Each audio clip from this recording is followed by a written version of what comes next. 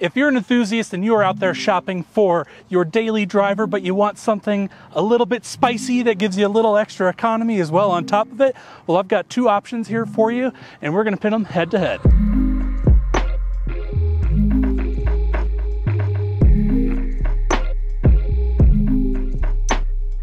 So starting off with our more budget-friendly option, I have a 2008 Honda Civic, but is not just any Civic. This is the SI Civic, which in 2008 was the hottest version that you could get here in the States. So this SI is based off of the eighth generation Honda Civic. And previous to this one, it only came in a hatchback if you were to get the Civic Si. But with this guy, it came with a either a sedan or like this one, you can get it in a coupe.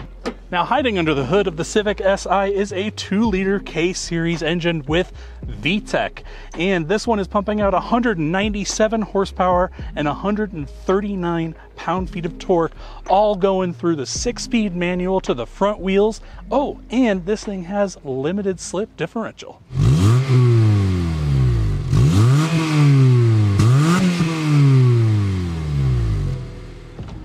Now hopping inside, it is pretty basic. I mean, it is based off of the Honda Civic, which was kind of just like a little economy car, but it does give you these nice bolstered seats that have the SI badge right here on the back, as well as that six speed manual, which today is kind of a warm day, and boy, is that actually really hot to the touch. But I kind of like this two tiered uh, dash that they have going on where you have your speed up there. They'll show in, uh, your speed digitally and then you also have your tachometer down here front and center. So you can kind of see them both right at the same time. Makes it kind of nice and adds to the driving experience. Let's uh, get this thing out on the road. Take it for a little spin because i mean that's really what these cars are all about right? They're these aren't you know let's be real. These aren't show cars. These aren't the kinds of cars you show up that are gonna draw a crowd at the car show. But what they will do is put a smile on your face when you're out driving them around, and especially the Civic version will get you back and forth to work, to family events, to outings, whatever you need, while giving you a little bit of a fun experience as well. Ooh, yeah. Ooh, and you can kind of feel that VTEC and the higher revs there kick in a little bit. I don't think I quite got to all of it yet, so let's get it out onto a public road where I can get up to a proper speed. Oh yeah, you kind of feel it kick in there. Almost like right around that 6,000 RPM range that VTEC kind of kicks in. It's not quite as uh, explosive as a turbo, but it does give you a similar sensation without necessarily giving you forced induction into the, the engine. And of course, we need to talk about pricing, right? Because in all reality, the Civic Si that really competes with the Focus ST would probably be the ninth generation, but this is what we have today. So I wanted to kind of give you guys a viewpoint of two different price options. So you can get this vehicle right here for about 10 grand. And you could probably find them a little bit cheaper out there, maybe in a little worse condition, a little bit higher miles. Um, so it's a pretty good bargain for the amount of fun that you have. And now, when this was new, they were recording 0 to 60 times of about 6.7 seconds, whereas the Focus ST, they were about 5.9 seconds. And now, up here at elevation, you are going to see a much bigger difference, actually. This is probably going to be way slower than the Focus ST simply because this does not have the forced induction of the Focus. But that Focus, on average, from what I'm seeing in the market, is about four to five thousand dollars more than this guy. And so I think, you know, considering you can pick one of these up in kind of rough condition for maybe seven grand, you know, maybe topping out at the, the $10,000 mark, you're getting a pretty good performance for the amount of money or the lack of money that you are spending. Now, I, I kind of enjoyed that VTEC so much. I want to get it out one more time. All right, I'm going in first so we can get all of it. Oh yeah. You can kind of hear the difference when you get it up into that above 6,000 range. The, the engine makes a distinct noise difference when you get up in there. And yeah, VTEC, yo, you can feel it.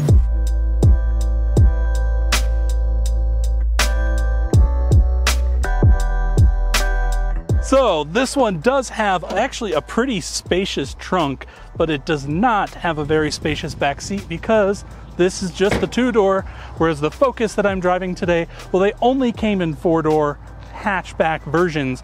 Again, this you could not get in a hatch as well. So I think this is maybe slightly more practical considering you actually have a rear hatch that you could use and you could fold down those back seats to have a ton of practicality. And that really is kind of the difference. I think the closer competitor would probably be if I had the four door version of the Civic, but this is what we have today, so that's what we're going with. All right, so under the hood of this is Ford's two liter four cylinder engine with a turbo on it. So this does have quite a bit more power, packing 252 horsepower and 270 pound feet of torque.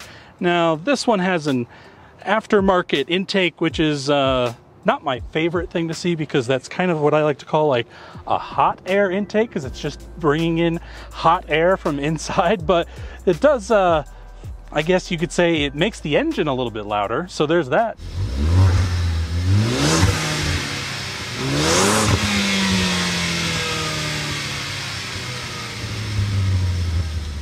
Now on the interior of the Focus ST, I will say this has the standard Focus ST seats rather than the optional like Recaro bolstered ones and I kind of prefer these. They're especially for someone of my stature that's a little bit wider, it fits me pretty well.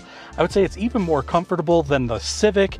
And again, you have a six speed manual. And although this looks like metal, because it's plastic, I can grab onto it in this heat and it's not gonna burn my hand. And the rest of the interior, I mean, you've got a nice leather bolstered steering wheel on here. You do have a traditional type of gauge cluster that does have a screen in the center. And then this is an aftermarket radio, but you do have just kind of your traditional um, HVAC controls. And yeah, I mean, this is a fairly low optioned one, but you could get them with a sunroof and a few other nice things on the inside. But if I were to get an ST, I'd probably go with this spec, just maybe not with the aftermarket radio. Now we get to take out the Focus ST. And keep in mind, as I mentioned already in the Honda, this is probably a four to five thousand dollar more expensive vehicle because these only came out in 2013 and although that may since we're talking classics on the classics channel here that may seem like a fairly new vehicle to you but that was 10 years ago guys that this Focus ST came out. And so they're starting to get a little little bit long in the tooth. I don't know that I would say they're classic status yet. Um, they're definitely like a future classic though I think. But this thing has got over 50 horsepower more than the uh, the Civic, and not only that, this has uh, been messed with a little bit. yeah, um, in typical Focus fashion or Focus ST fashion, it's got a cold air intake, sounds like a blow off valve, uh, and an aftermarket radio, which I think these came with Bluetooth from the factory. So I don't know what the point of that is, but it's what we got. But let's uh, get into that turbo and see what it does. Oh yeah, got a little bit of a wheel spin there, gaining on the second, and you know, to be honest, like it's it's definitely faster, but I will say it doesn't.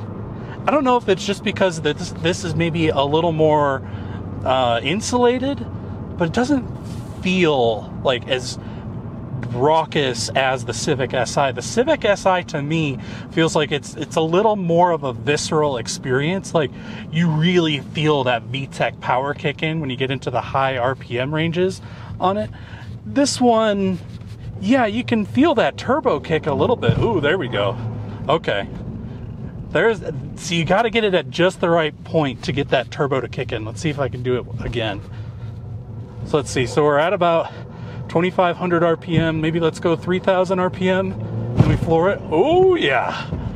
That's the sweet spot right there. So you want to get it into that 3000 and above RPM range and then put the pedal to the floor and that's when everything just kind of fires all at once. All right, I want to give it one more fair shake here up at the light.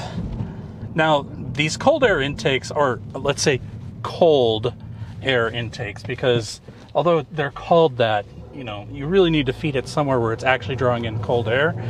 I think they kind of do more harm than good, to be honest, when they're bringing in all that hot air. And yeah, I mean, this is definitely quicker.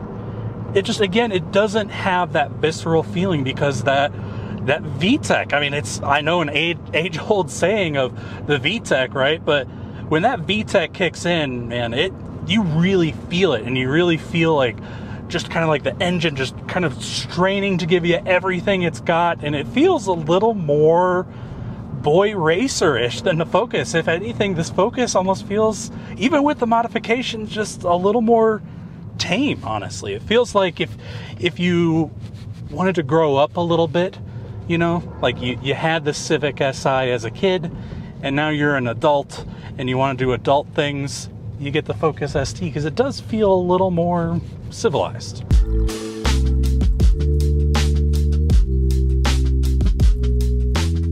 So a big shout out to Jesse over at Booth Motors because he's the one that helped set this up and these are actually both for sale on their lot right now. So if one of them interests you, make sure to hit them up.